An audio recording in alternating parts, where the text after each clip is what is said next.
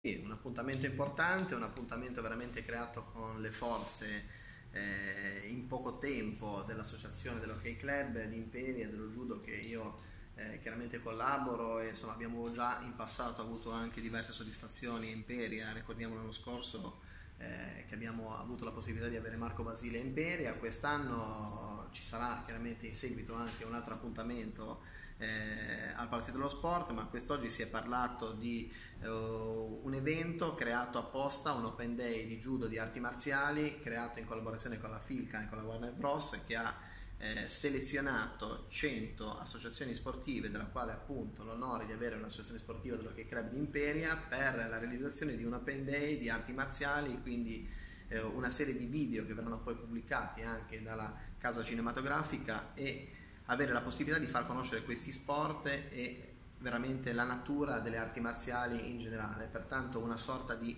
gioco per i ragazzi più giovani, per i bambini, però chiaramente un'attività che si avvicina sempre al mondo delle arti marziali che eh, viene portata appunto nella nostra città. Questo ci dà un grosso lustro, un grosso rilievo, poiché il nome di Imperia viene portato appunto eh, in video nazionali, quindi viene caratterizzato dal punto di vista sportivo ci è stata chiesta la disponibilità, credo come sempre che eh, il mio settore, quindi in questo caso l'assessorato allo sport, si debba dare piena disponibilità a quello che è la richiesta di un'associazione sportiva che tende a portare a livelli nazionali e non solo il nome della nostra città